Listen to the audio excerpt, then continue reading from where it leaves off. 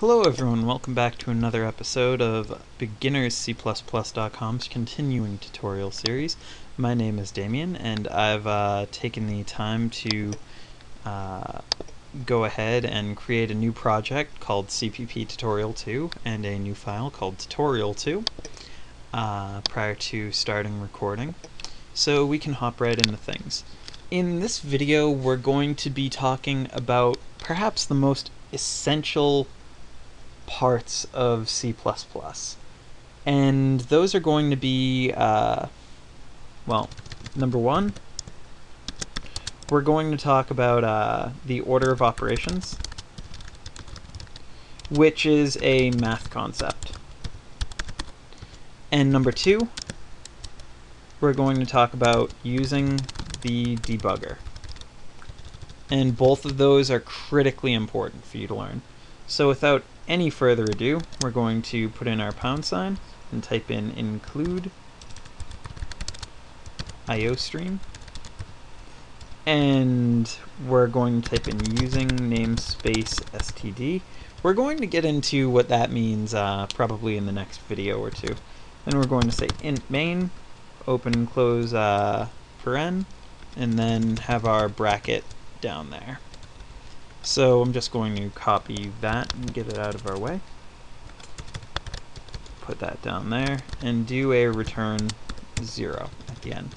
This is going to be our uh, our basic sort of skeleton for every program we're doing for the first considerable amount of time, by the way.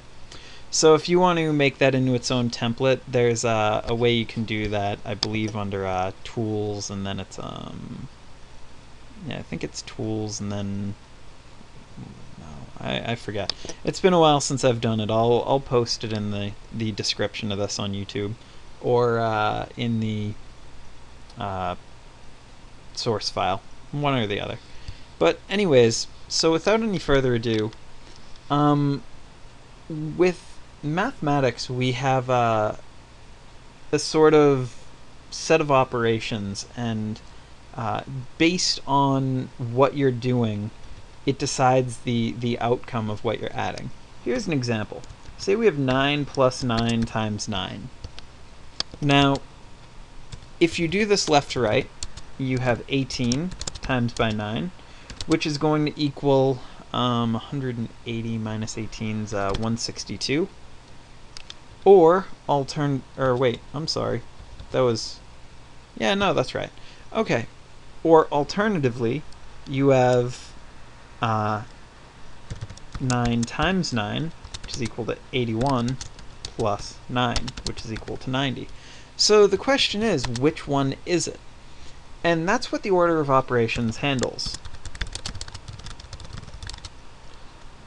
Declares the following. And in normal mathematics, the rule is PEMDAS, which means you solve in this order. Parentheses, exponents, uh, multiplication, slash division, and addition slash subtraction. Now where the slashes are, that means that they're handled with the same priority. So in the above example, this one right here is correct.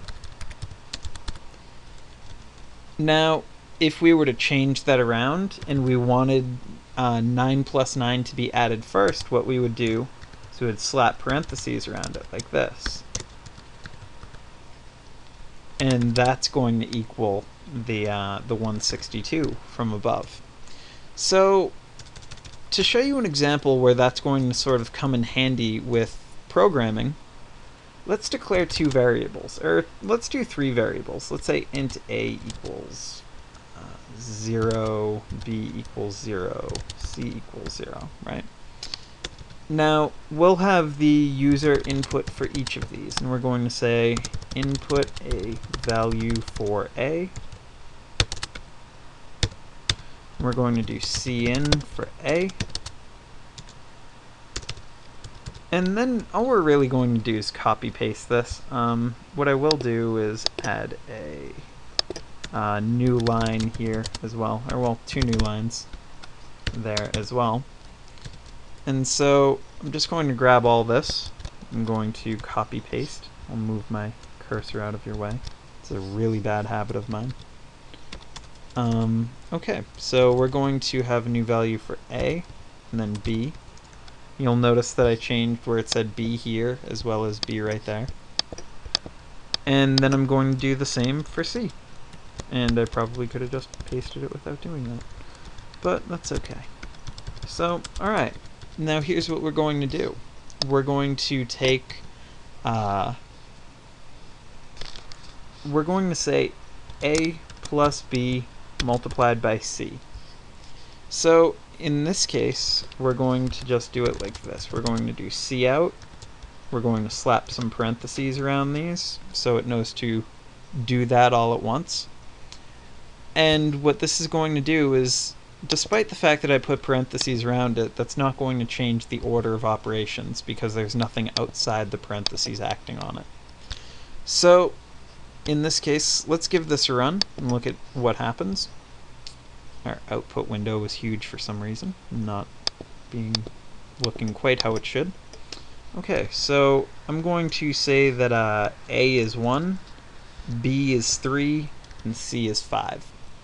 Now, with what I've explained you above, we're still observing this type of rule. However, something that you should notice is, uh, before I actually do this, is that there is um, in C++ there is no exponents. There is, but not yet. Um, and it's not, and it's treated as multiplication when you do use them. So don't worry too much about that. When you do get into using them, it's going to be with parentheses anyways. So we have that a time or a plus b times c. So with uh, with 1 as A and 2 as B, uh, or I mean, and 3 as B and 5 as C, that means we're going to have 15 plus 1 for 16 with, oh, and apparently I was on Best Buy earlier. Good to know. Sorry about that. Okay, so we're going to hit enter here, and you'll see that 16 did come up as expected. So again, what that did was it took the 5 and 3 and combine them first, despite the fact that A and B were together there. Because the rule is it follows the order of operations and if there's two operations with the same priority, it goes from left to right. So that was pretty easy. Now, let's assume that I wanted to try that same thing again. Now, I'm going to come back up here, and I'm going to add another new line character or two. And then I'm going to come down here, and I'm going to intentionally make a mistake. And I'm going to check my time. Perfect. Okay, so let's say that I try to, uh, to use a variable that doesn't exist. So let's say I try to do a plus b multiplied by d. And I mean, as you can see, there's there's no such thing as D. Now, first things first, you're going to notice immediately that it underlines the D. It's going to tell me something along the lines of uh, invalid symbol uh, over here, or can unable to resolve identifier D. But let's say I go ahead and I, I run this anyways. So I give it a run, and you're going to see right here uh, that we get some some very stern warnings from our compiler. Now, the first thing it's telling us is that there's no new line at the end of file. That's not an actual problem. Uh, that's specific just to this. Don't worry too much about that. Uh, you can fix it just by hitting enter once at the end of your file. Now, what this is doing is it's telling us what's the matter with our program. And you'll see where it says D is undeclared. And what that means is that we never specified what uh, D does. Um, we never declared it up here. So that's that problem. If we get rid of D, the program will compile correctly. But let's say we make a, a more unnoticeable problem. Let's say instead of C out with the less than signs, I do it with greater than signs. If we give that a run, we're going to notice it says no match for operator greater than greater than and std C out. And so if we click on the, um, if I just move that up there and I click right here, it will move our cursor to the line where the error is and it will highlight the line and it will show us exactly what's going on. So again, that's another very important thing to know. You know, when you click on this sort of error, sometimes it will take you to exactly where you made the error. You'll see here that the way that it's telling us where we made the error is by saying tutorial2.cpp in function int main which means that we are inside of the main function, which starts here and ends down here.